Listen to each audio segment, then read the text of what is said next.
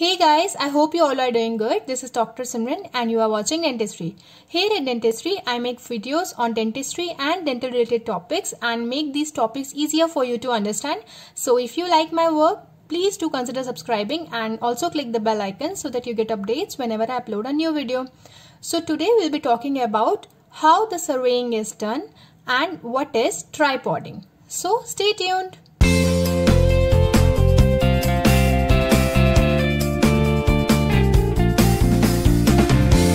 So now let's see how to survey the cast. The base of the cast should be flat and it is placed on the surveying table and it is secured with the locking arm. Okay. Now to begin with, ensure that the occlusal plane of the cast is parallel with the base with 0 degree tilt. Initially we place it with 0 degree tilt and it should be at the level to the table. So to survey the cast, we start with our first surveying tool that is our analyzing rod and the surveying arm is allowed to move up and down contacting the cast. So the surveying arm can move up and down contacting the cast and analyzing rod analyzes the all the areas of undercuts or height of contour of the cast. Now with this we examine the proximal surfaces of the abutment teeth for potential guiding planes. Now this will give us an idea about the degree to which the area might need modification to achieve parallelism. Now you all must be wondering what is this guiding plane. We know that we have to create parallelism so that our RPD can easily glide as it is inserted and removed from the mouth. So to create this parallelism, the axial surfaces of the abutment teeth are prepared such that they are parallel to each other and provide an easy path of insertion and removal. That is, they are parallel to each other and also to the path of insertion and they should also curve buccolingually to form the normal contour of the tooth. So these guiding planes are prepared on the axial surfaces of the abutment teeth. Now after examining the proximal surfaces of the abutment teeth, we will examine the facial and lingual surfaces of the abutment for potential areas of retention. Here we provide the retentive components of the cast partial denture and then the cast is examined for any interferences to the placement and any other hard or soft tissue undercuts like bony exostosis, undercuts, tori, etc. And these soft tissue undercuts should be removed during pre-prosthetic surgery. Then the undercut gauge is used to measure the potential areas of retention. The shank of the tool touches the height of contour. And remember, it is not always measured at the gingival crevice, but at the level we plan to place the retentive terminal of the retentive arm. Now, when we measure with the undercut gauge, this tells us about what material is to be used as more flexible material is used to engage the deeper undercuts. So the alloy to be used for the cast partial denture or for the retentive component is based on this measurement that we get from the undercut gauge. So this is why this step is important. Now, after surveying for guiding planes, retention and interferences and aesthetics, we draw the survey line on the tooth, marking the height of contour for which carbon marker is used. A survey line is drawn on each abutment tooth across the entire circumference of the tooth. You can also use it to mark the bony interferences that may provide as the area of interferences. If there is no height of contour, then there is no undercut to place the flexible part of the clasp.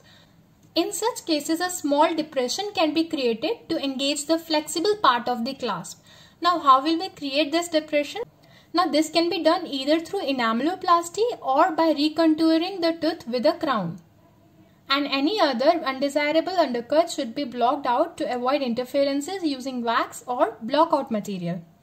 I have also discussed separately about the favorable and unfavorable undercuts and their importance and I highly recommend you to check that in my previous video about the surveying and the surveyor. So do check that. Now moving on. Then we determine the parallelism of the abutment teeth. The path of insertion of the RPD should be parallel to the long axis of the abutment teeth for the easy insertion and removal of the denture and it can be established by contouring the enamel surface like we discussed for the guiding planes or by placing restorations on one or more tooth.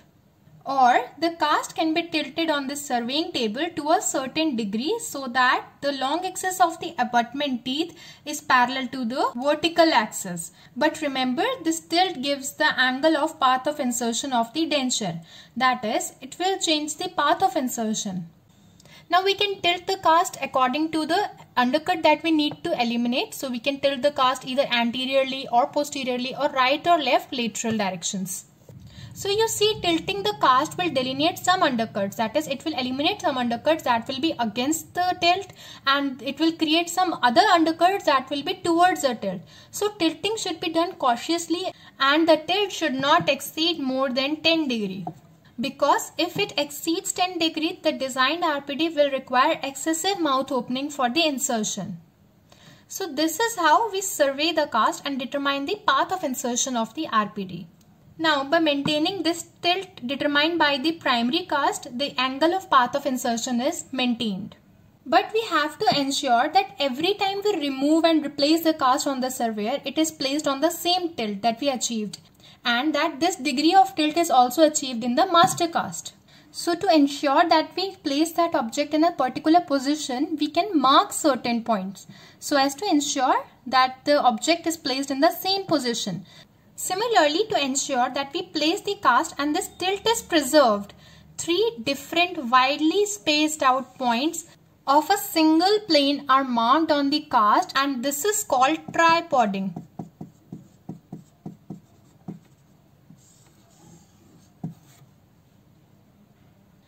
So how we do tripoding? First of all, the carbon marker is fixed to the mandrel.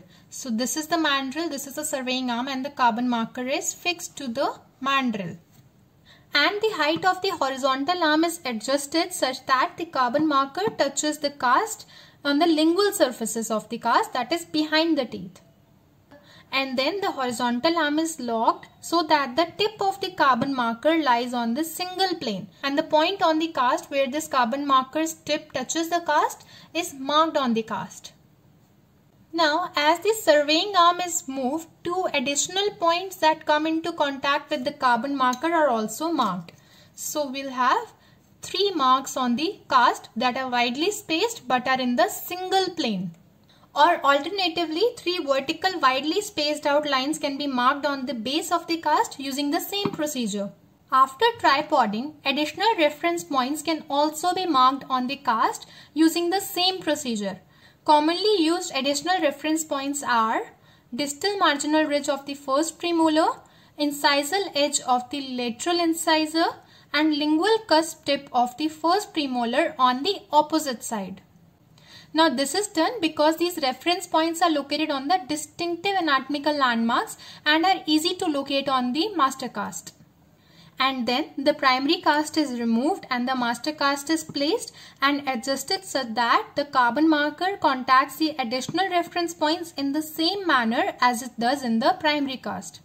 So with this we complete surveying. We have discussed about what is surveying and what is a surveyor, how is surveying done and what is tripoding and also talked in brief about undercuts and guiding planes.